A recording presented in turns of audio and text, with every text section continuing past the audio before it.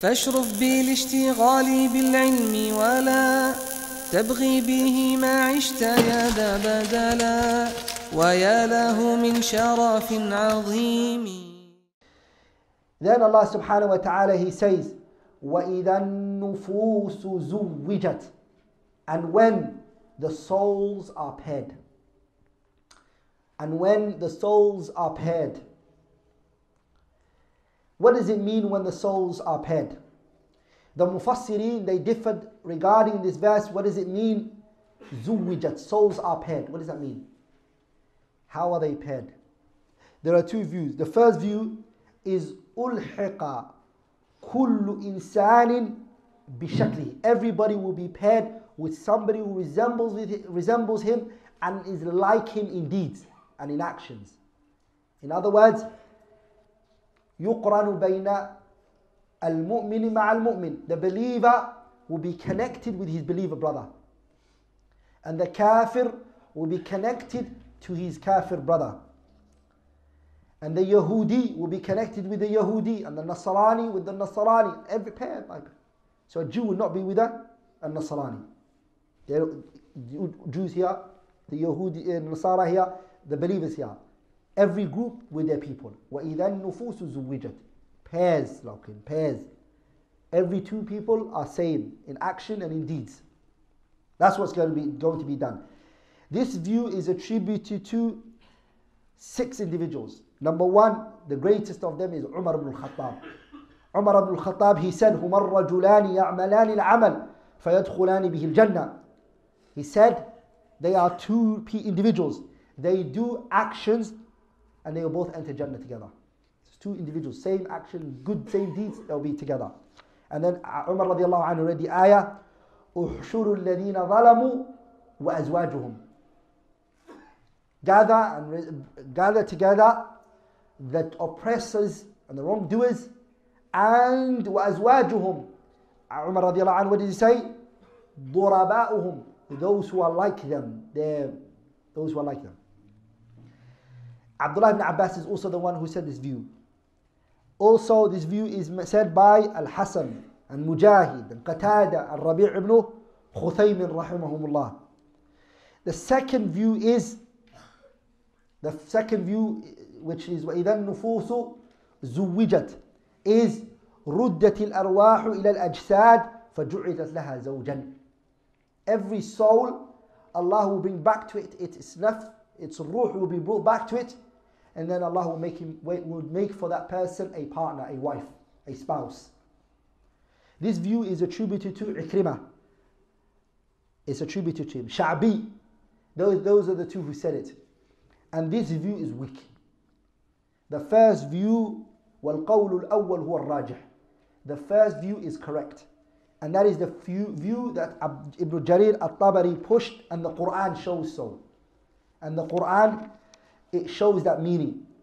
Allah subhanahu wa ta'ala, He then says, وَإِذَا الْمَوْءُودَةُ سُئِلَتْ بِأَيِّ ذَنْبٍ قُتِلَتْ And when the girl who was buried alive is asked, بِأَيِّ ذَنْبٍ قُتِلَتْ For what sin she was killed. This here is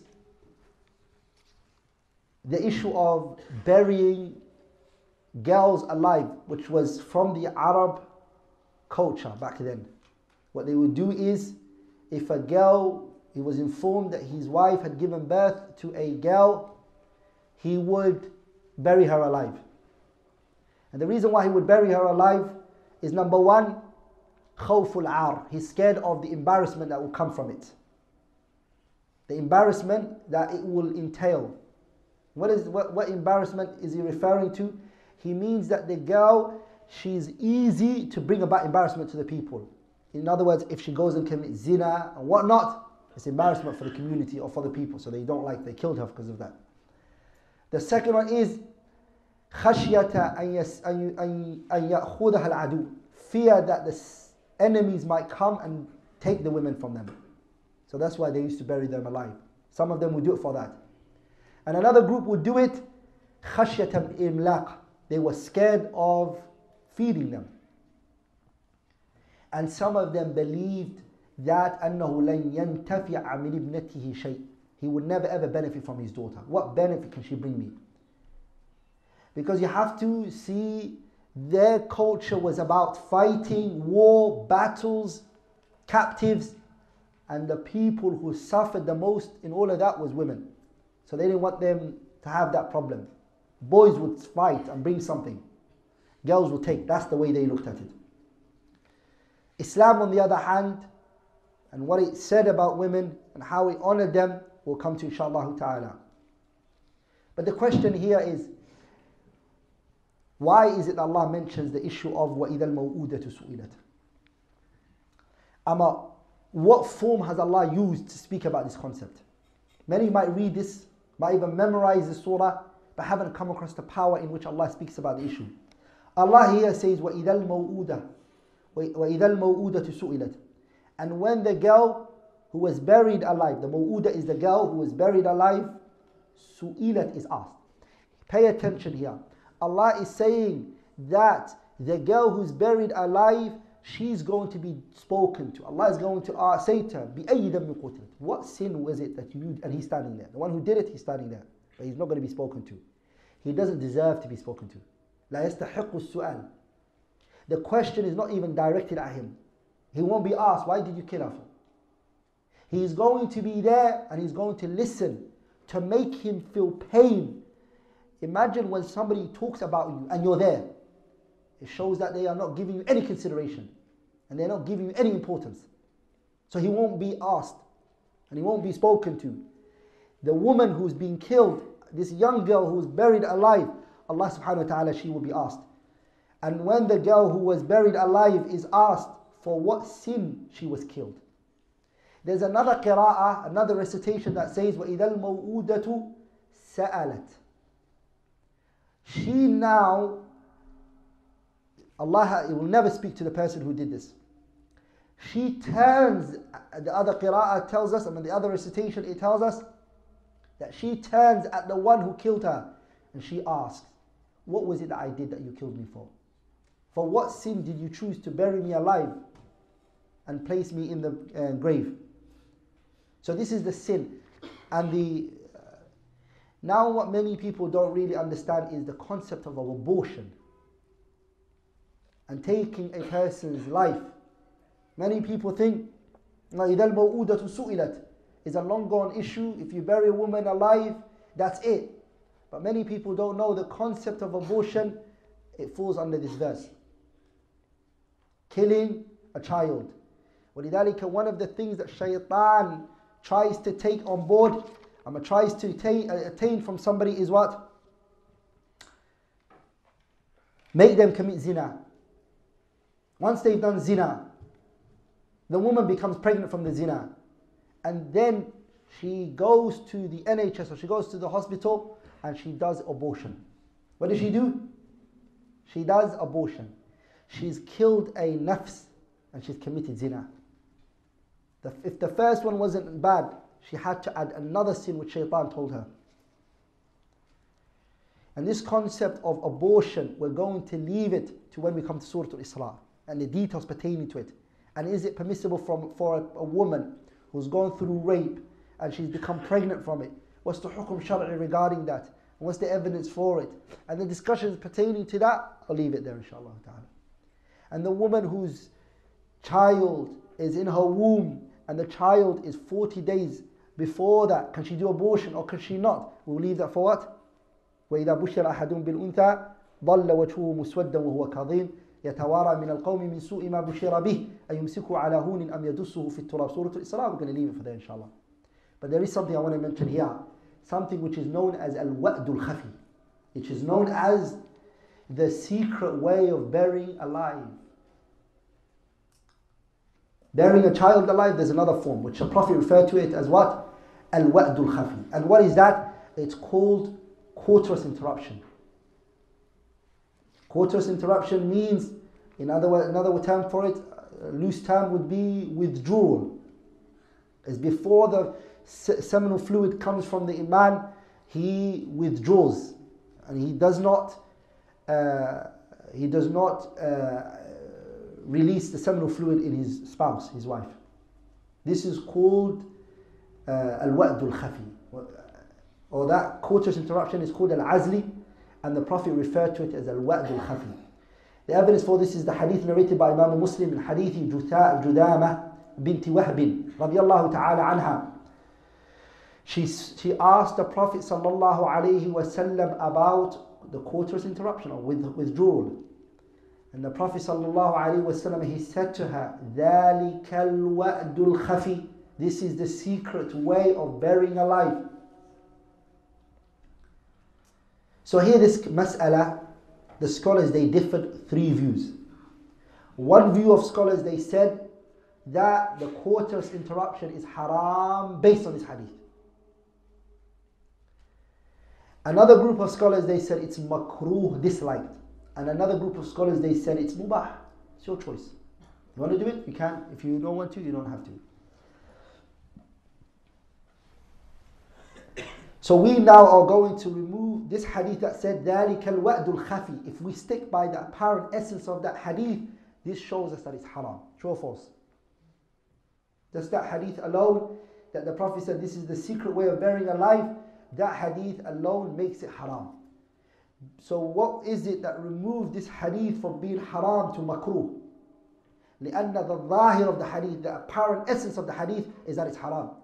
Because the Prophet ﷺ told us, الوعد and الوعد is what وإذا الموءودة سئلت بأي ذنب it's a ذنب and a ذنب is a what محرم it's haram so where can we remove it from being haram based on the hadith of Jabir ibn Abdullah radiallahu ta'ala anhuma Bukhari and Muslim both narrated he said كنا نعزل والقرآن ينزل we would do coitus interruption and withdrawal, and the Quran would be coming down, meaning we would do it at the time where the, Prophet is with us and is aware of what we're doing, and the Quran is coming down, meaning the Quran has not objected and gone against what we're doing.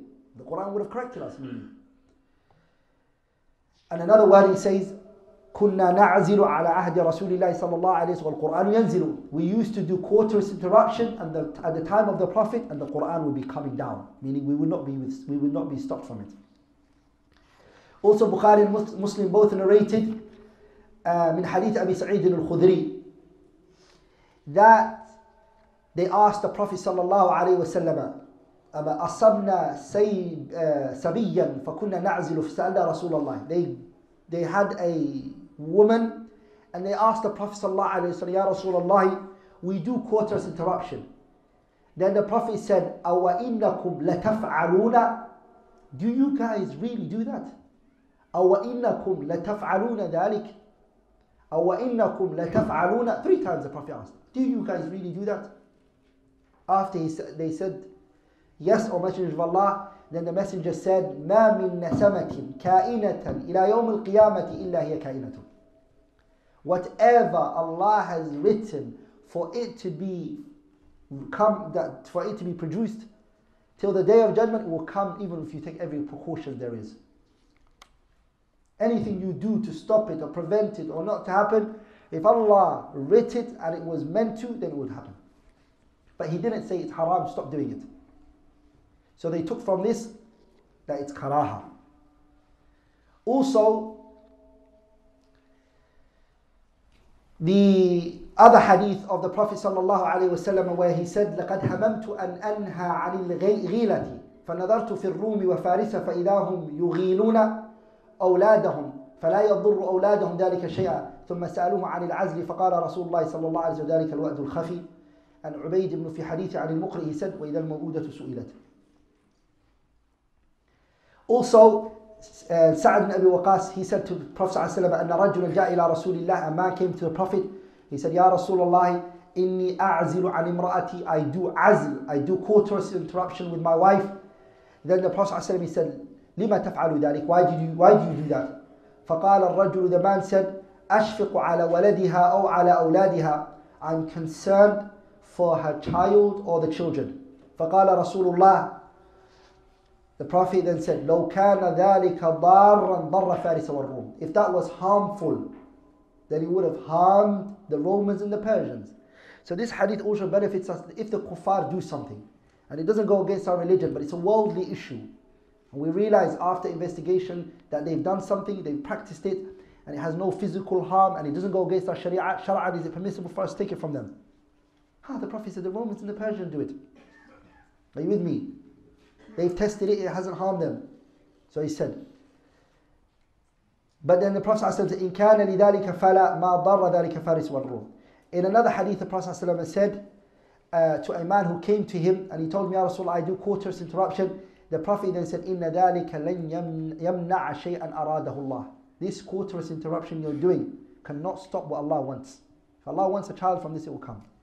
Then the man, he did what he wanted to do. He kept doing the quarterless interruption. And then he came to the Prophet and he said, Ya Rasulullah, she became pregnant. I was doing the quarterless interruption. And then the Prophet said, Ana, ana Abdullah wa Rasuluh. I am a slave of Allah and I am the messenger of Allah. I am the slave of Allah and I am the messenger of Allah. Sallallahu alayhi wa In other words, what I told you was, was, was right. So there became a khilaf even between the Sahabas. Ridwanullah alayhim ajma'in. Some of the Sahabas used to see the permissibility of azl. Some saw it was makruh. Some saw it to be muharram. If we bring all the evidence together, we would easily eliminate that it's been mubah. We're only left whether it's haram or makruh, disliked. And the strongest is that it's disliked. It's disliked that the person will do that. Because the Prophet ﷺ, what did he say? alayhi salatu wasalam, he said, تزوج الولود الودود Marry the woman who loves to have a lot of children and the woman who loves her husband.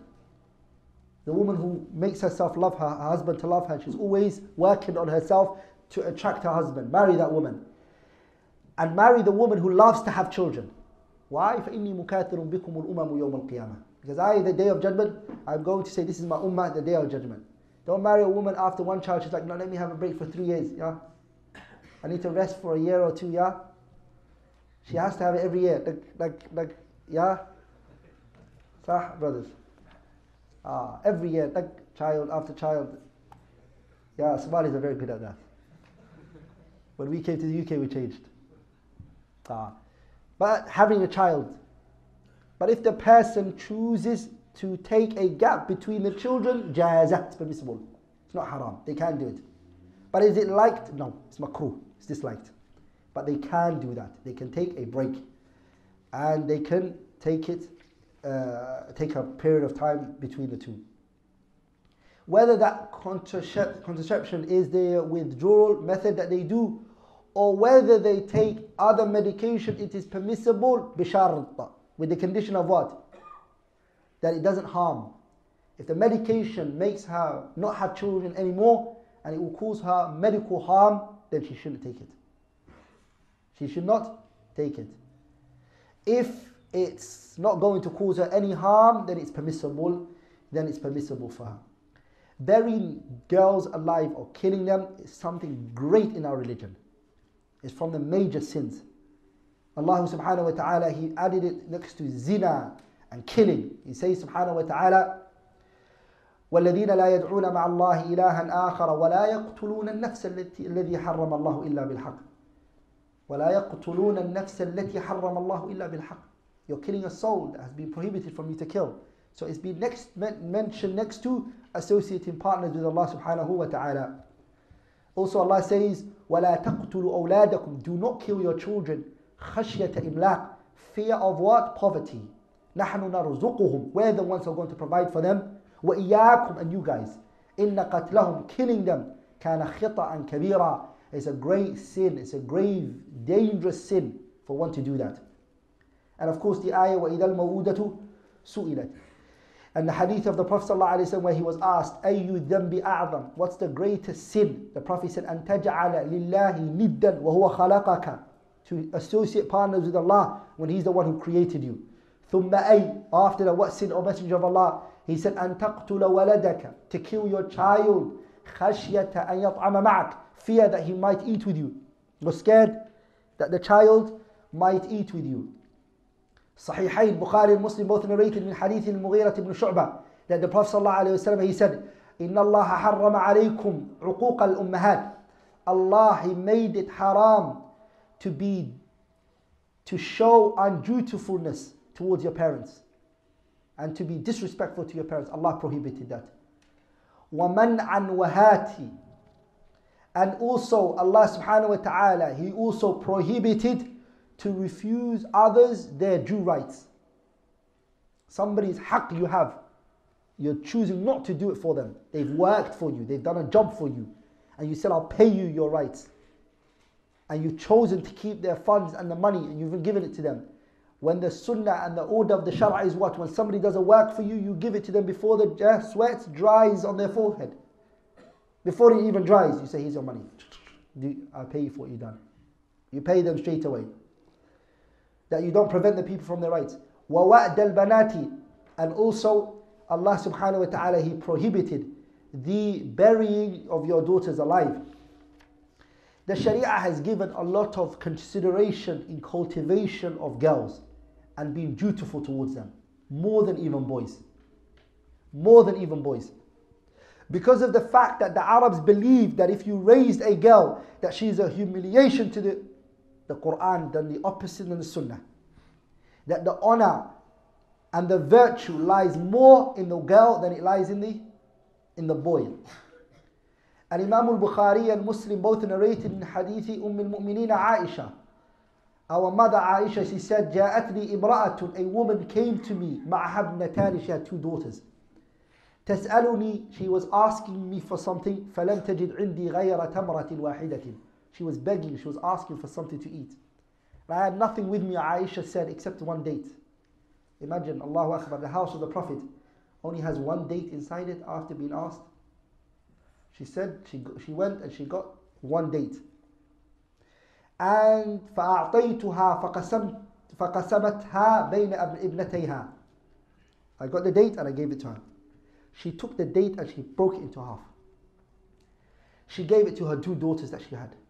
A mother, she didn't take one. Split it in half. She gave one to one daughter and she gave the other one to the other. ثم قامت فخرجت. She stood up and she left.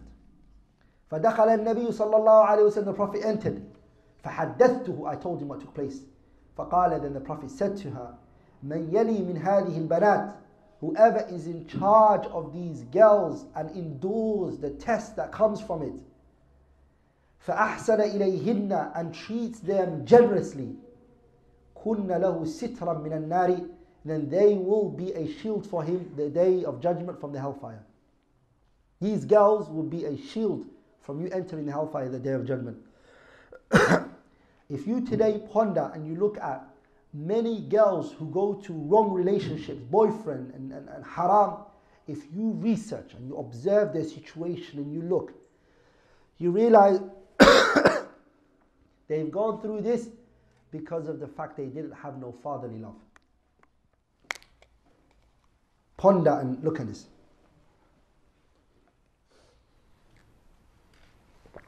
They didn't have no fatherly love. So a, gay, a guy came, he showed her a lot of love. He bought her a little gift here and there, and she fell for him. She's never seen this before. When she comes home, everybody's mocking her. You're fat. You need to lose weight. What are you eating? Let me guess, you're going to stay next to the fridge. We should lock the fridge from you. All of these jokes that brothers do. Ya it's not funny, wallahi. Wallahi has led to so much problems.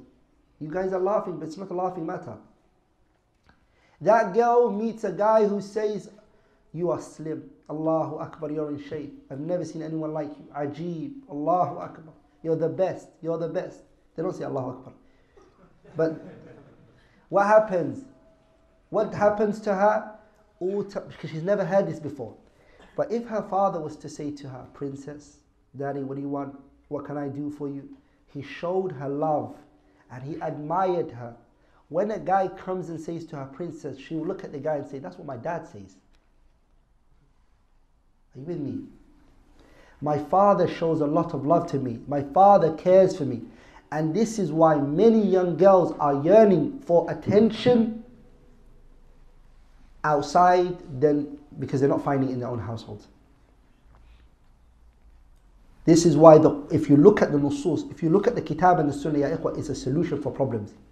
It's a solution for what? Problems. and it solves issues that we're, we're going through. The Prophet ﷺ said, These girls are shield for you for the day of judgment.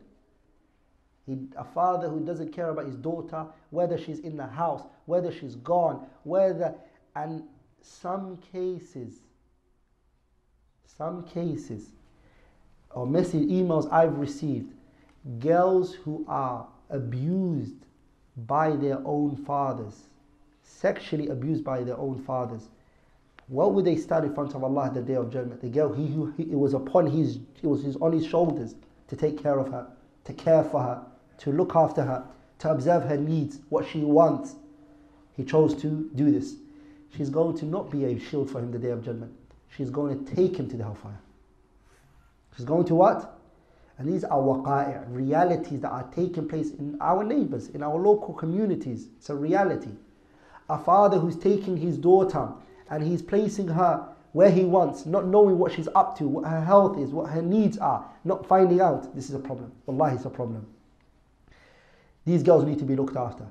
And wallahi, one thing we need to remember is, as the poet said, ألقيته في اليم مكتوفا وقلت إياك إياك أن تبتل بالماء if you tie a person from the back like this, and you grab them and you throw them into the water, and then you say, hey, be careful, don't let the water touch you. Is that possible? This society and practicing is like that. The parents who brought their children here, and who brought their kids here, or had children here, made impregnated their wives, brought their kids here, they are like that. When you tell your child, be a practicing Muslim, it's contradicting unless you're making an Islamic environment. Unless you're making that environment Islamic from the household to where they're going. Are you with me, brothers and sisters? Right now, you all are aware of what Sted, uh, Ofsted have said, right? Regarding schools. They said that young girls are going to be asked why they're wearing hijabs. Young girls. Four, five, six, seven, they're going to be asked, why are you wearing a hijab? Father never ever sat with her, never told her what ruling of hijab is, why, and what she's wearing, and what she chose to wear, and explain it to his daughter. Teach her, educate her, bring her heart to this. He hasn't done any of that. He slapped her on her head and said, Go wear the hijab. Huh? She goes to school and she's like, Oh, he just tells me if I don't wear it, I'm going to go to the nar. And the hellfire looks like this. And are you with me, brothers? Then don't be shocked when, when these things happen to you. Are you with me? one of the th- things that Shaykh al-Islam Muhammad Abdul Wahab mentions in his kitab Thalathatul Usul was what? Ma'rifatul Islami bil adillah, knowing your religion with what? Evidences From the tarbiyah of the father is what? You know the ayah when Allah says, Ya illadina amanu qu anfusakum wa ahlikum nara. You know what some of the mufassirin say? Qu anfusakum wa ahlikum nara. They said, بِتَعْلِيمِهِنَّ By teaching them. وأنفسكم وأهليكم نارا Save your children from the hellfire. It means بتعليمهن by educating them, by doing ta'lim. Binti, this is my son, this is what it is. Some people's tarbiyah is only what? What's their tarbiyah? Kellogg's Frosties, have you eaten it? Have you had your breakfast? Have you brushed your teeth? Have you watched, have you washed your mouth? Go to sleep? Have you put your pajamas on? Their tarbiyah is all that, that's what it is. What the child eats, if the child sleeps, that's it. Not even mentally building the child. And one of the things Al-Imam Al-Izz ibn Abdul Salam rahimahullah when he speaks about in his kitab Qawa'id, uh, Al-Qawa'id Al-Kubra he mentions in there that one of the rights that the community have on you is that you cultivate your children correctly.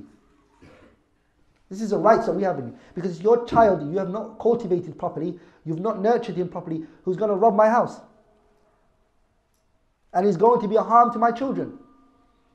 It's a communal obligation. They need the community need you to take care of your child and make sure that your child is good and, and is not a, a criminal. So make sure that your household, again, from the things that I, just recently, I, I know a brother, a very close brother, whose children have been taken from him, social service. Come on, bring their children. If today somebody took your children for you, what do you live for? Eight, seven, year old child that you've been raising, you've been giving food, you've been giving everything, turn them over. Two, son and a daughter. Seven and eight and nine kids, roughly that age. Kids have been taken. خلاص قضي الأمر الذي فيه تستفتيان. it's finished. It's over with you. Why? Because his daughter said, Dad, forces me to wear hijab. Forces me.